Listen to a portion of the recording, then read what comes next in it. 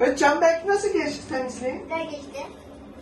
Nasıl hissettin? İyiydi değil mi? İyiydi. Aklım gitti. Sünnete ne zaman geleceksin? Ee, bu hafta geleyim. Ay bu hafta diyorum. Okullar tatil olunca geleceğim. Okullar tatil olacak. Evet. Yalnız eniştesinin çok akıllı uslu durdu. Akıllı durduğu için ben buna hokus pokus abra kadabra sünnet ettim seni. Sen sünnet oldun biliyor musun? İnanmıyorum. İnan. Oldun ama Valla. kendine gel yaklaş. Canberk sünnet oldun sen. Nasıl inanmıyorsun?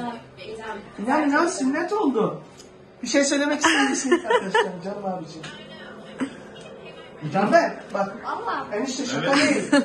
Görmek ister misin? Yok şimdi. Yok şimdi. Enişte. Valla de. Vallahi sünnet oldu. Tillahi sünnet oldu. Sünnetlerden bitti Sünnet Canber. oldu. Yardım çekmeyeyim. Hayır.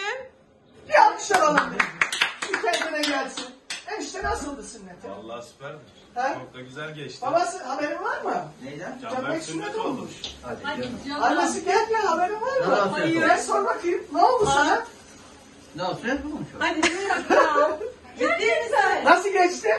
Güzel. Bravo. Alkışlayalım. Kaç like istiyoruz? Aslanım. 1999, 1999, 9999 like istiyoruz. 1500 tane 9'u koy öyle. Evet bravo. Arkadaşlar bir şey söylemek ister Evet. Çok mu zordu sünnet?